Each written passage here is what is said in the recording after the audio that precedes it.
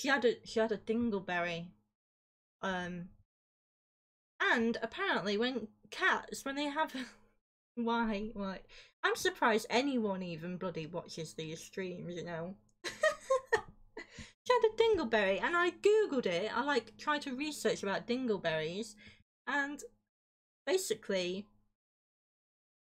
what they do when they have a dingleberry was um they drag their bumhole across the floor to try and you know loosen it and get rid of it.